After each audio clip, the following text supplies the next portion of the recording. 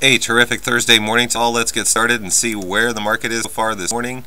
This morning's opening was at 99.25, a nice little pop up. We had a nice little rally up yesterday. We did hold a line, which is positive. Today, starting to correct down just a tad. Let's look at trading so far this morning. Our opening at 99.25.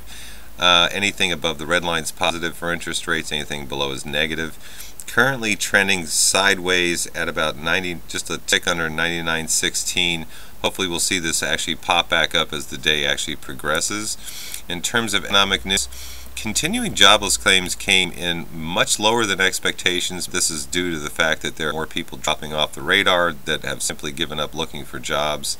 Initial jobless claims actually rose much more than expectations so kind of a mixed bag but this is going to most likely be upwardly biased. Uh, producer price index, which is a measurement of inflation minus food and energy, the two volatiles, came in a little bit better than expectations. They're looking to see a slight increase here. Um, to keep it in line.